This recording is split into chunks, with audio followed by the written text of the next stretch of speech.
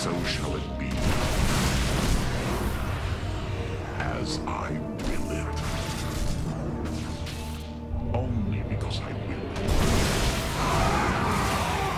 As I